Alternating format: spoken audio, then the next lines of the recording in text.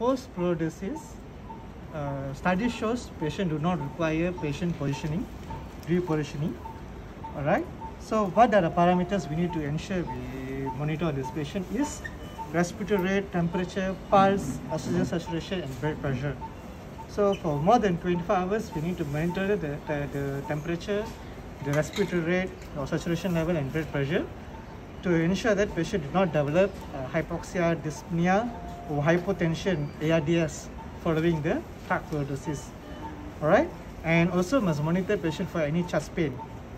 And once we open the drain, we can monitor the drain also. We ensure to watch out the color of the fluid.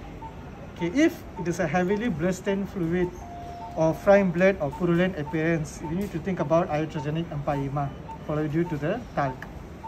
And and we also monitor, need to monitor the is there any persistent bubbling. It could be air leak, uh, could indicate an air leak because maybe patient may have an underlying bronchopleural fistula. And the swinging of the fluid. Swinging of fluid may indicate patient the tube may be blocked or the the pigtail and uh, the entry is uh, migrated. Alright. So post pleurodesis one hour, we will be monitoring the patient for more than 24 hours. If the fluid is less than uh, less than uh, 100, we can proceed to off the pigtail.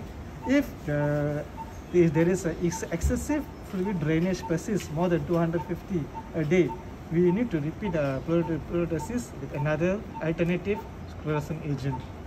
Okay, that's all our monitoring. Okay, thank you.